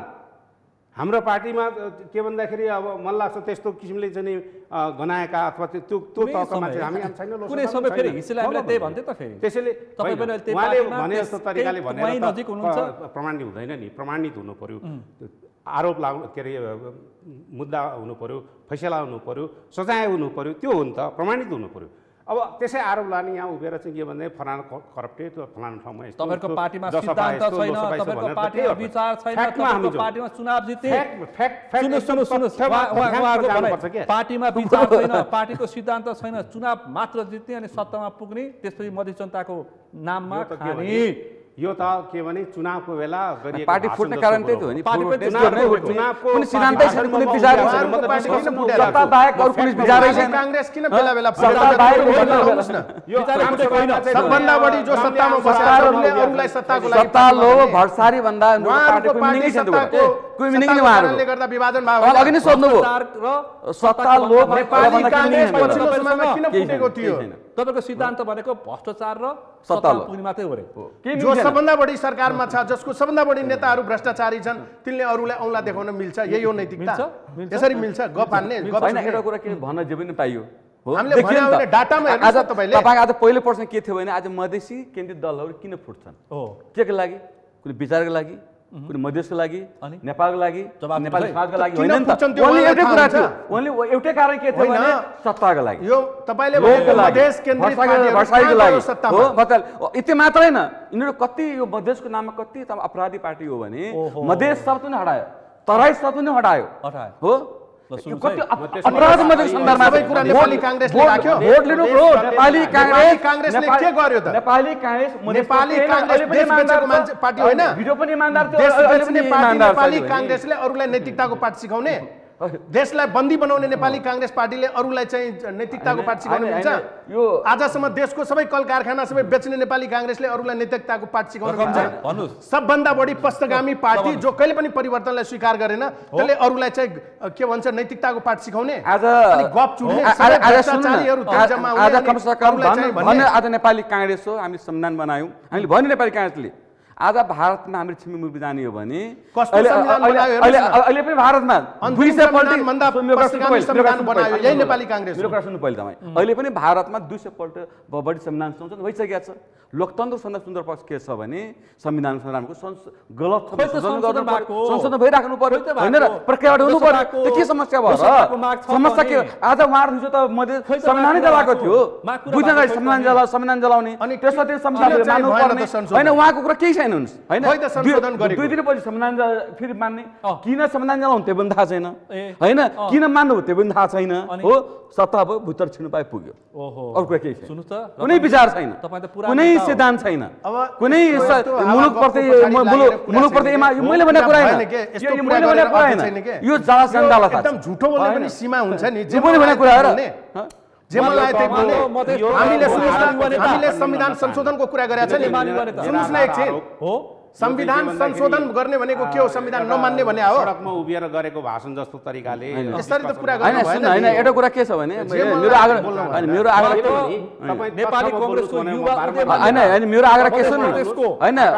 भएर बोल्नु पर्यो नि। सुन तपाईँ हिस्ट्री हेर्नु न तपाईँ आफ्नै पार्टी हिस्ट्री हेर्नु न। हो? नेपालको संविधान घोषणा भइसकेपछि तपाईँको के रियाक्सन थियो के स्ट्यान्ड लिनुभएको थियो के बोल्नु भएको थियो के लिनु के कार्यक्रम गर्नुभएको थियो? हो मैले भनेको कुरा होइन। होइन मैले भनेको कुरा होइन। होइन हाम्रो कसो न। मेरो मेरो उहाँको मेरो एकछिन, पार्टीको एकछिन, बारेमा त एकछिन, मैले एकछिन। बोल्ने हो नि तपाईँले बोल्ने हो र? ल भन्नुहोस् त, ल तपाईँको भन्नुहोस् त। पार्टीको होइन, होइन। सबै पार्टी सब बोल्न पाउँछ। समाज यो- त मेरो हाम्रो जसपाको यो संविधानमा रिजर्भेसन छ। छ। शत प्रतिशत हामीले यसलाई मानेर चाहिँ हिँड्या होइन। सङ्घीयताको बारेमा हाम्रो रिजर्भेसन छ। सीमाङ्कनको बारेमा रिजर्भेसन छ पहिचानका बारेमा छ समावेशिताको बारे बारेमा छ। तपाईँले चाहिँ केही छैन भनेर हुन्छ। हामीसँग छ नि। हाम्रो दस्तावेज पढ्नुहोस् न। पढ्दै नपढ्ने त्यतिकै चाहिँ पढ्नु। पर्यो नि त रञ्जित कर्ण होइन उहाँको संशोधन भनेकै के हो भन्ने सुन्नुहोस् है संशोधन भनेकै के हो केही असन्तुष्टि छ है आंशिक। रूपमा मानेको हो आंशिक रूपमा होइन होइन एउटा कुरा दस्तावेज होइन दस्तावेज एउटा हुने व्यवहार अर्को हुने होइन बोली एउटा हुने सुन त्यो कुरा होइन त्यो होइन त्यो होइन भाषण एउटा हुने होइन तपाईँ समस्या तपाईँहरू होइन तपाईँको समस्या के छ भने सुन समस्या के छ भने तपाईँको समस्या के छ भने दस्तावेज एउटा हुने भाषण अर्को तपाईँ हुने होइन समस्या कुरा हो त्यो हो भने तपाईँ? कुरा के छ? अब तपाईँ अब जनताले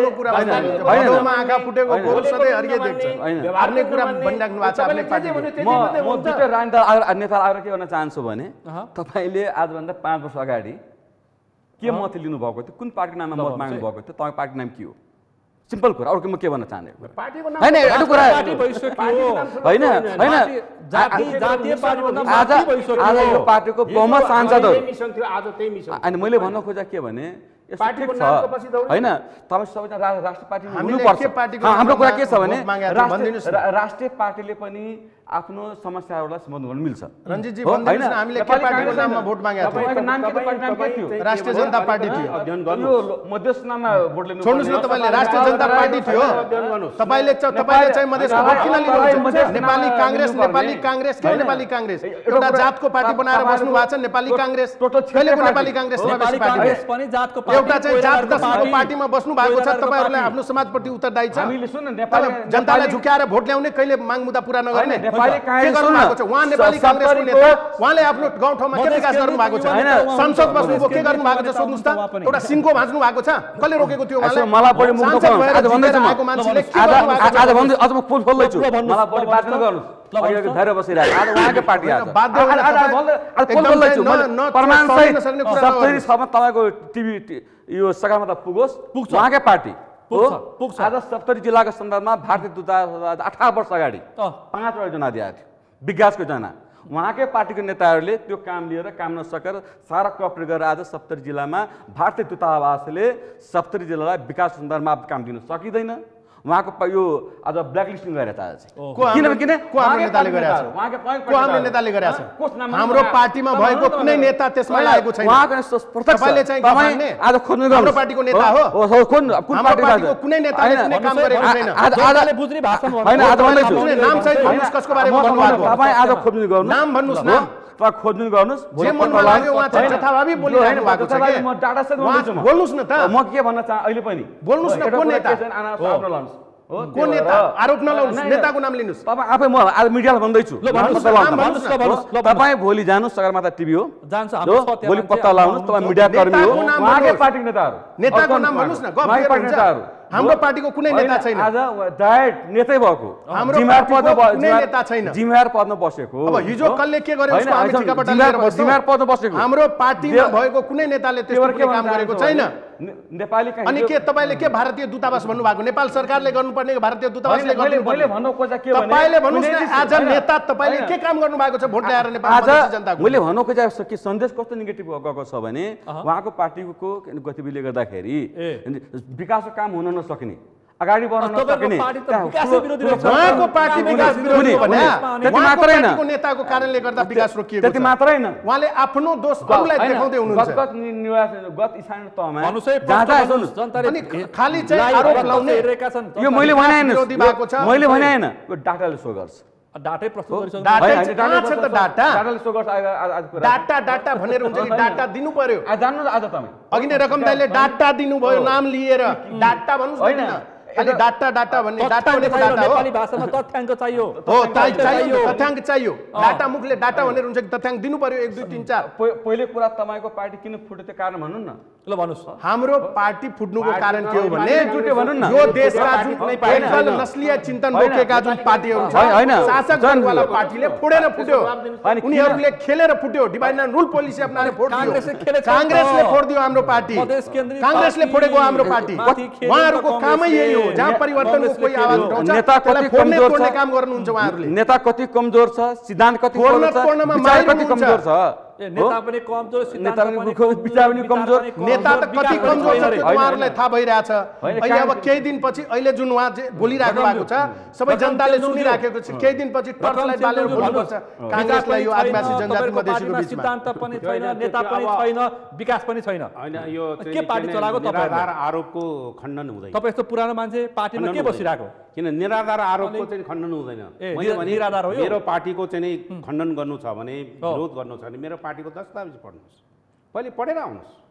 त्यसपछि खण्डन गर्नुहोस् न यो यो ठिक छैन त अ, त तपाईँहरूको त चाहिँ पढेर भन्नु आएको हो तपाईँ? दस्तावेज एउटा नेपाली काङ्ग्रेसको भाषण बारेमा के एउटा भन्छ? व्यवहार अर्को के पार्टी meaning? चाहिँ नि के भने दस्तावेज एउटा, होइन, भाषण एउटा, दस्तावेज व्यवहार सुन्न अर्को। व्यवहार नपत्याउने, अर्को। के के meaning छ व्यवहारको? व्यवहार पनि नपत्याउने के के मिनिङ छ मेन त कुरा तपाईँ एक्सन हामी के गर्दैछौँ? ल भन्नुहोस् त, महत्त्वपूर्ण कुरा रकम त्यो। मैले के गर्दै म बताएँ, महत्त्वपूर्ण कुरा त्यो हो। एक्सनको तथ्याङ्क अँ, चाहिँ। मैले प्रस्तुत गरेर बताएँ नेपाली काङ्ग्रेसको बारेमा। नेपाली काङ्ग्रेसले अहिलेसम्म शासन गर्दै आएको छ त्यसको बारेमा पनि बताएँ। होइन? तपाईँ चाहिँ निराधार आरोप त्यति मात्र- त्यो आरोपको खण्डन गर्नु के जरुरी होइन अर्को कुरा के छ भने म अझ तपाईँलाई भन्न चाहन्छु म। यो नेपाली कहाँ तपाईँले छ्यालिस सालमा लिएर जानुभयो। छ्यालिस सालभन्दा अगाडि नेपालको सडक कति किलोमिटर बनाएको थियो। सडक यो छ्यालिस सालपछि तपाईँको कति हजार किलोमिटर बन्यो। एक स्वाद चौकी कति थियो? होइन जब नेपाली काङ्ग्रेसले प्रत्येक अहिलेको अहिले हामी वडा बन्दैछौँ हिजोको गाउँ हो? प्रत्येक गाउँमा एउटा कङ्ग्रेस रहेछ? होइन। हिजो कति विद्यालय थियो कति अनि- विद्यालय बन्यो बनायो? सालभन्दा? अगाडि कति युवा चाहिँ विदेशमा होइन होइन सुन। कति लाख युवा एउटा कुरा के छ भने भएको छ? हावादारी? कुरा गरेर भएन। कति सङ्ख्या? तल गिरेको छ सरकारी विद्यालयहरू जानुहोस्। स्वास्थ्य होइन, व्यवस्था गाउँ गाउँमा होइन, हेर्नुहोस् सर्न पुग्ने होइन, हुँदैन कसले खायो? अनि मैले के भने हिजो एउटा राज सप्तरीमा एउटा हस्पिटल थियो। एउटा अञ्चल हस्पिटल थियो। नेपाली काँडले कानुन नीतिले कारणले गर्दाखेरि प्रत्येक यो गाउँमा अहिलेको वडा भन्छौँ हो प्रत्येक हामी गाविसमा चाहिँ स्वास्थ्य हामी उपलब्ध गरायौँ। प्रत्येक प्राप्त हामीले उहाँहरूले त्यति मात्रै? होइन? त्यति मात्रै होइन। अरू अरू आउँदा यो विस्तारहरू भएको छ। गर्दाखेरि कुनै एउटा कामको जस उहाँहरूलाई जाने स्थिति होइन, छैन। होइन। खालि बाँड्ने चुड्ने खाने बाहेक खाने। बाहेक उहाँहरूले आजसम्म जनताको हितमा एउटा काम गर्न सक्नु भएको छैन। उहाँहरूले जनताको हितमा काम गरेको भए यो मुलुकमा जनयुद्धै हुन्थ्यो। उहाँहरूले जनताको हितमा काम गरेको भए आज चाहिँ यो संविधान जलाउनु पर्ने स्थिति आउँथ्यो। त्यति ठुलो के भन्छ जनविद्रोहहरू हुन्थ्यो। हामीले चाहिँ यो अधिकारको निम्ति कुरा गर्नुपर्ने अवस्था आउँथ्यो। अनि चाहिँ सबै कुरा उहाँहरूकै कारणले यो देशको यो व्यथिति छ स्थिति छ त्यसलाई सुधार्न हामी आएको अझै पनि काङ्ग्रेस? सुन्नुहोस् काङ्ग्रेसलाई म? भन्दैछु यहाँलाई काङ्ग्रेसको सरकार छ अलिक दिन छोडिदिनुहोस् देश ब्ल्याकलिस्टेड हुँदैछ पुरै दुनियाँले ना आर्थिक नाकाबन्दी गर्नेवाला छ यो चार महिनाभित्र मङ्सिरसम्म मात्रै तपाईँ कुरेर हेर्नुहोस् यही सरकारले गर्दाखेरि यसैको पोलिसीले गर्दाखेरि यो सारा कुरा मुलुकलाई तपाईँलाई थाहा छ नि चालिस चालिस सालभन्दा अगाडि हामी चाहिँ यो खाद्यान्नमा त आत्मनिर्भर थियौँ नि आज एउटा कुनै आइटम बताइदिनुहोस् जसमा हामी आत्मनिर्भर छौँ। सारा कुरा आयात गरेर अनि चाहिँ गफ चुडेर हुन्छ त नि। कागतै किनेछौँ हामीले। भन्नुहोस् देश, न यो दसैँमा चाहिँ यो सुपारी चाहिँ बिस अरबको किनेर लिएर आएको छौँ हामीले त्यो पूजापाठ गर्नलाई उ गर्नलाई खानलाई? फुलमाला चाहिँ हामीले चाहिँ दस अर्बको किनेर लिएर आएका छौँ। उद्योग धन्दा खोइ। अनि खोइ त उद्योग धन्दा कल कारखाना? भयभरको सबै बन्द भएर पलायन भयो। कसको कारणले भयो? काङ्ग्रेसकै नीतिको कारणले गर्दा अनि? भएको हो। अनि उहाँले चाहिँ उल्टै चाहिँ यो। भयो पहिले कुरा के उहाँले जनयुद्धलाई समर्थन गर्नुभयो हो। बावन्न सालपछि बल्ल नेपालको डेमोक्रेसी एउटा सिस्टममा जाँदै थियो। हो? बल्ल एउटा कुरा के हुन्छ भने सिस्टमले राम्रो नराम्रोकोलाई चेन्ज गर्न सक्छ हो? काङ्ग्रेस राम्रो भन्यो भने एमाले राम्रो होला। एमाले राम्रो भयो भने मनठर पार्टी राम्रो होला अरू पार्टी राम्रो होला। गर्छ एक अब? स्वतन्त्र भन्दैछु। स्वतन्त्रहरू आउँदैछन्। हुन्छ। स्वतन्त्र शाह आउँछन् त। आउँछ नि। होइन जुन पार्टीले राम्रो काम गर्न अब। सक्दैन विश्वास आउँछ त्यो कुरा चाहिँ एउटा कुरा के छ भने उहाँहरू जन उहाँहरूको न- जनकपुरमा नै जनकपुरमा नै। स्वतन्त्र जितेको सुन मैले भन्नु खोजेको के भने जनउदीले पनि नेपालको विकासको आर्थिक गतिलाई टम्प यो कोलाप्स भयो नेपालको। एक। काम अगाडि बढ्न सकेन। त्यो राजाले शासनले पिरामिड लड्नु पर्यो। एउटा कुरा के छ भने जब नेपाली काङ्ग्रेसले बल्ल विकास कुरालाई लिड नेतृत्व गर्न खोज्दै थियो नेपाली काङ्ग्रेस त्यो बेला जनहित पनि भयो। राजाले शासन पनि लियो। होइन? बल्ल त्यति मात्रै होइन। जब जन जब हामीले दोस्रो जन आन्दोलनबाट हामीले प्राप्ति गऱ्यौँ पहिले संविधान सभाको चुनाव त भयो। माओवादी पहिले पार्टी भयो। भयो। उहाँको मधेसी दलहरू नाम फरक होला। उहाँ ती नेताहरूको नेतृत्वमा होइन चौसठीको संविधान सभामा। चुनावमा समानुपातिक सहित बाहन्न सिट होइन त्यति मात्र होइन। दलले। अनि त्यति मात्र होइन तर पालै पालो हाम्रो नेताहरू बाबुराम भट्टराईजी झालनाथ खनालजी प्रचण्डजी र हाम्रो माधव नेपालजी नेतृत्व गर्नुभयो। तर संविधान त बन्न सकेन नि त। मधेसी दलहरूको ठुलो सङ्ख्या थियो। मधेससँग हम मधेसको मसिया भन्नुहुन्थ्यो। ठुलो सङ्ख्या थियो कुनै संविधान त लानु भएन। उहाँको गतिविधि संविधानतिर होइन ओन्ली सत्तातिर थियो। यस्तो होइन दोस्रो संविधान सभा। निर्वाचन भयो। काङ्ग्रेस कुरोको सुरु यो रहेछ। काङ्ग्रेस एउटा कुरा के छ भने, यो मैले भनेको कुरा होइन। गोरु चुट्ने के। यही काङ्ग्रेसको कारणले। गर्दा पहिलो संविधान सभामा संविधान बन्न सकेन। यिनीहरू कमजोर अवस्थामा थिए तर रोकेपछि त रोकिहाल्यो। यिनीहरूले गर्दाखेरि बनिसकेको संविधान खाली के कुरा भयो भने खाली केमा मात्रै सामान्य सहमति हुन बाँकी थियो। यो राज्य पुनर्संरचनाको सन्दर्भमा उहाँहरूको अडानले गर्दाखेरि संविधान चाहिँ जारी हुन सकेन। दोस्रो संविधान सभाको चुनाव गराउनु पर्ने स्थिति आयो। उहाँहरूको त्यो अव्यवस्थित यो के भन्छ गठबन्धनले गर्दाखेरि त्यो बाहिरको व्यक्ति- हाउसलाई डिजल्भ गरिदिएर अनि बाहिरको व्यक्ति प्रधानमन्त्री बनाएर मन्त्री परिषदको अध्यक्ष बनाएर अनि नयाँ म्यान्डेटमा गएर पुरै सेटिङ।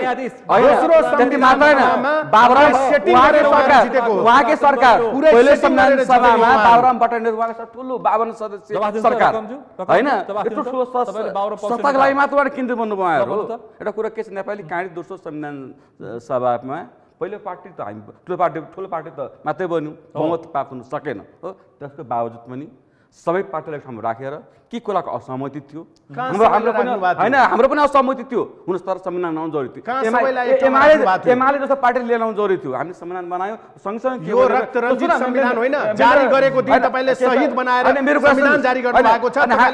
हामीले के भन्यो भने सुन हामीले के भन्यो? के कुरा हाम्रो असहमति छ? जनजातिको मधेसको दलितको मुद्दामा अहिले पनि एमाले त्यसलाई अगाडि बढ्न दिइरहेको छैन। संविधान बनाउनु जरुरी छ। हाम्रो असहमति हो। हो काङ्ग्रेसले पनि दियो सँगसँगै संसदलाई प्रथम दर्ता गरायौँ हामीले गरायौँ। अब- अब तपाईँ जवाफ हो? दिनुहोस्। यति मा काङ्ग्रेसले त्यो बेला उपेन्द्र यादवजी लगायत। सबै पार्टीहरू लिएर हामीसँग हामी त समानुपातिकमा समावेशीमा महिलाको अधिकारमा सबैमा काङ्ग्रेस त उधारै छन्। यो। संविधानमा हाम्रो विमतिका केही बुँदाहरू छन्। हामी त्यो परिवर्तन गर्न चाहन्छौँ। हामी त्यसलाई चाहिँ नि एउटा रिजर्भ के हाम्रो रिजर्भेसनलाई कायमै राखेर चाहिँ यो संविधानलाई सपोर्ट गरेका छौँ सहयोग के अरे भन्दाखेरि समर्थन गरेका छौँ। त्यसकारण यो संशोधन गर्न पाइन्छ, अन्यथा। अन्यथा लिनु भएन नि। संशोधन गर्न पाइन्छ, अब रह्यो? के भने संविधान कसरी बन्यो भन्ने त अघि पनि धेरै कुरा उहाँहरू दुईजनाले बोल्दै हुनुहुन्थ्यो। पहिलो संविधान सभालाई चाहिँ नि षड्यन्त्रपूर्ण ढङ्गले चाहिँ नि भत्काइयो, के अरे कोल्याप्स गरियो, सिद्धाइयो। त्यसलाई सिद्ध्याइयो अनि? र त्यो सिद्ध्याउने काङ्ग्रेस र कम्युनिस्ट नै हुन् है? त्यतिखेरका चाहिँ नि डाक्टर बाबुराम भट्टराई फोरमले- पनि हुन्। सङ्ख्या उहाँहरूको बढी हुने अनि दोस्रो दोस्रो दोस्रो दोस्रो संविधान सभा त एउटा चाहिँ नि के भन्दाखेरि जुन तरिकाले आयो होइन? अ, त्यसमा चाहिँ सबै चाहिँ नि मिलेर आफ्ना कुराहरू कतिको परे होला कतिको परेनन्। हाम्रा कुराहरू धेरै परेनन् होइन? हामीले त्यसैले विमति राख्यौँ। जसको धेरै पऱ्यो शत प्रतिशत समर्थन गरे त्यो चाहिँ के भने विवादित रूपमा भए पनि संविधान जारी अनि एजेन्डा यो जारी भएको चाहिँ संविधान। काङ्ग्रेसको मात्रै हो एजेन्डा कम्युनिस्टको मात्रै हो एजेन्डा मिल्ने जसपाको मात्रै हो अथवा जसपासँग- उसको मात्रै हो भन्ने। त्यो सबैले जारी एजेन्डा मिल्ने तपाईँहरू त एक किन हुन। नसकेको एजेन्डा मिल्ने जसपा अहिले जसपा महन्त ठाकुर शरद सिंह भण्डारी तपाईँको यो प्रश्न गलत छ हेर्नुहोस् कसरी भन्नु त यदि एजेन्डा मिलेर एजेन्डा मात्रै पार्टी त- एक हुने भएको भए त सत्ता शक्ति बलियो हुन्छ न त। सत्ता गठबन्धनमा साँठगाँठ गर्नलाई जब तपाईँको कुरा मिलिरहेछ पैसा लेनदेनमा अनि तपाईँ किन फरक फरक पार्टी राख्यो? त्यो गठबन्धन जम्मै एक पार्टी बनाएको भए भइहाल्थ्यो नि। त्यसो उपेन्द्र यादव पनि सत्ताको लागि दामको लागि गएका त्यो त गठबन्धनको औचित्य के हो? भन्नुहोस् न। आइडियोलोजिकल? रूपमा के एक? खतरा आयो? गठबन्धन औचित्य के हो? आइडियोलोजीको हिसाबले भन्दा पनि निश्चित काम तपाईँको पार्टी अध्यक्ष तपाईँको नेता सरकार सञ्चालनको लागि सञ्चालनको लागि गठबन्धन छ। यो? सरकार सञ्चालनको लागि। गठबन्धन बन्ने एउटा पृष्ठभूमि थियो? कि चाहिँ दुई दुईचोटि संविधान के अरे संसदलाई चाहिँ विघटन गरियो र चाहिँ एउटा गलत ट्र्याकमा जान खोजियो। त्यो त्यो कुरोलाई रोक्नको लागि आन्दोलनद्वारा चाहिँ होइन त्यो शक्तिलाई रोकेर चाहिँ के भन्दाखेरि यो सरकार चाहिँ आयो। गठबन्धनको सरकार बन्यो। गठबन्धनको सरकार आइसकेपछि स्वाभाविक रूपमा संविधानलाई ट्र्याकमा लैजानको लागि त निर्वाचन गर्नु पर्यो स्थानीय तहको निर्वाचन पनि संसद विघटन प्रतिगमन हो। केपी ओलीले गरेको? असंवैधानिक थियो प्रतिगमनकारी थियो। अनि? पहिलो एउटालाई हो। पहिलो मात्रै हो। दोस्रोलाई दोस्रो चाहिँ हुँदै होइन। दोस्रो सेटिङ। हो। दोस्रो प्रधान। न्यायाधीशसँगको सेटिङ हो। र जानु कुरा। प्रष्ट भइसक्यो प्रधान न्यायाधीशमाथि उहाँहरूले नै महाभियोग पनि लगाइसक्नु भएको छ। अब नेपाली जनतालाई बुझ्न यति असजिलो छैन। प्रष्ट भइसकेको कुरामा कन्फ्युजनमा नबस्छ सर्वोच्च अदालतका प्रधान न्यायाधीशको त्यतिखेर चाहिँ के भन्दाखेरि जुन किसिमले निर्णय गर्नुभयो त्यो निर्णय चाहिँ के भने बहुमत एकापट्टि गइसकेपछि होइन स्वाभाविक रूपमा त्यो निर्णय आयो। अब त्यहाँनिर के भयो भने सर्वोच्च अदालतका बारेमा धेरै कुरा नगरौँ है? म के भन्छु भने सर्वोच्च अदालतले सही निर्णय गर्यो। सही निर्णय भएरै आज गठबन्धनको सरकार बनिएको छ। देशको चाहिँ संविधानको चाहिँ महाभियोगका त भर्खरै पनि देखियो नि एउटा सर्व के अरे जिल्ला न्यायाधीशका हकमा पनि उहाँ चाहिँ होइन उहाँ एउटा। सामान्य कुराहरू के बुझ्नुपर्छ भने एउटा एउटा उहाँको कुरामा सबैको समर्थन गर्न कुरा चाहन्छु उहाँको कुरालाई म। अहिलेको जुन सरकार छ सेवा नेपालको नेतृत्वमा उहाँ हाम्रो संसदले हुनुहुन्छ समस्या भएन। र उहाँ लोकसभा सरकारमा नभए तापनि होइन नबस्छ जे। कारण होला उहाँ कारण होला। तर तर। नेपाली काङ्ग्रेसको संसदमा को विश्वासमा उहाँले भोट हाल्नुभएको छ मत हाल्नुभएको छ हामीलाई? हो। होइन त्यो नेपाली काङ्ग्रेस? सत्तामा नभए तापनि होइन नेपाली काङ्ग्रेसको नेतृत्व? सबैले समर्थन गर्नुपर्को छ। अनि? हो एक होइन। यो सबैको यो सा मुलुकको साझा समस्या थियो। नेपाली काङ्ग्रेस नेतृत्व मात्रै समाधान हुन सक्छ भनेर यो लोसपा जसपा हाम्रो माओवादी, हाम्रो महात्मा नेपालजीको समाजवादी, मिलेर सहयोग गरे हो। र आज त्यसको कारणले। आज चाहिँ यो समयमा स्थानीय निर्वाचन सम्पन्न भयो। समयमै हाम्रो संसदीय र प्रादेशिक निर्वाचन सम्पन्न हुँदैछ। अन्तिममा होइन? अन्तिममा छु जसपा कहिले सरकारमा आउँछ? छलफल भइरहेछ नि त। अब हामी त अहिले पनि लोकसभालाई लोकसभा गर्न चाहन्छौँ होइन लोकसभा त फुटाउने प्रयास गर्दै होइन हुनुहुन्छ होइन उहाँ स- सकेसम्म लोकसभा चाहिँ कहिले सरकारमा कोही फुट्नु भएन कोही फुट्नु भएन लोकसभा होइन? सरकारमा यो? लोकतन्त्र पार्टी फुटेको राम्रो पनि मानिँदैन लोकसभा कहिले पनि सरकारमा हुँदैन यो त उहाँलाई? थाहा होला मलाई थाहा छैन त्यो विषयमा तपाईँको पार्टी सभापति होइन, हामी- त गर्नु के छ भने- कहिले जान्छ सरकारमा अन्तिममा हामी स्वागत गर्न यो सरकारसँग सरकारमा सहभागी हुने विषयमा कुनै किसिमको संवादमा छैनौँ अनि अस्ति हामीले गएको त्यही भन्दैछौँ हामी छलफल गर्न के गर्न गएको भन्ने कुरा यहाँले लिखित डकुमेन्ट देखिसक्नुभयो एघार बुधे ज्ञापन पत्र बुझाएका छौँ। ज्ञापन पत्रमा कुरो सत्तामा जाने। छैन। काहीँ पनि लेखेको छैन। होइन नसुन्नुहोस् त्यसरी। यो कुरा नबङ्ग्यौँ लेखेको कुरा ठाकुरको नजिकको नेता हो बोलेको सत्य होस्। यो यो यो त्यो एघार बुधे जे कुरा लेखिएको छ हो। नेपाली भाषामा लेखिएको छ देवनागरी लिपिमा छ प्रश्नसँग बुझिने गरी लेखिएको छ र के लेखिएको छ भने हाम्रो यो सशक्त समर्थन हो यो सरकारलाई। र यो सरकारले हाम्रो माग मुद्दा अझैसम्म पुरा गरेन। त्यसकारण हामीले त्यो एउटा ज्ञापन पत्र अल्टिमेटमको लागि दिएको हो चुनाव कहिलेसम्म माग सम्बोधन गर्नुहुन्छ? सम्ममा- चुनाव सम्ममा लोस लोस लोसपा सरकारमा गएको हामीले पाउँदैनौँ। अब यस्तो छ। लोसपा चाहिँ सरकारमा जाने हुँदैन भन्ने नियतका साथ यो प्रश्न हो भन्ने। केही भन्न सकिएन। नभए त हामीले त भनेका छौँ त हाम्रो माग मुद्दा सम्बोधन गर्नुहोस्। हामीलाई सरकारमा आउनमा कुनै आपत्ति छैन। त्यो बार्गेनिङ हो। यो यो कुरा नौ महिना अगाडि पनि भनिएको बार्गेनिङ मात्र त होइन नि। यो बार्गेनिङको कुरा होइन नि? यो त माग मुद्दा पुरा गराउने शर्त हो नि। हामीले नौ महिना अगाडि पनि यही कुरा भनेको थियो अहिले पनि त्यही भनेको चाहन्छु। यो र सँगसँगै मेरो अनुरोध के छ भने अबको राजनीति भनेको आर्थिक विकासको लागि हो। समग्र सम्पूर्ण राजनीतिक दलको होइन, अगाडि बढौँ। पहिचान अधिकार अनि मात्रै चाहिँ गर्न हुन्छ चाहन्छु। आजको विषय प्रसङ्गमा तपाईँले महत्त्वपूर्ण समय दिनुभयो र महत्त्वपूर्ण विचार व्यक्त गरिदिनु भयो त्यसको लागि आभार व्यक्त गर्न चाहन्छु। आज हामीले विशेष गरी मधेस केन्द्रित दलको समस्या र समग्र मुलुकको समस्या र निकास के हो भन्ने विषय प्रसङ्गमा तिनजना व्यक्तिसँग छलफल गऱ्यौँ। छलफलमा सहभागी हुनुहुन्थ्यो। जनता समाजवादी पार्टीका नेता रकम चेम्जोङ त्यसै गरी नेपाली कङ्ग्रेसका युवा नेता रञ्जित कर्ण त्यसै गरी लोकतान्त्रिक समाजवादी पार्टीका युवा नेता केशव झा। आजको विषय प्रसङ्ग यति नै। भोलि अर्को विषय प्रसङ्ग साथ कार्यक्रम प्रश्न समय ल्याउने वाचा गर्दै म सुनिल दाहाल पनि बिदा चाहन्छु। सगरमाथा टेलिभिजन हेर्दै गर्नुहोला। नमस्कार।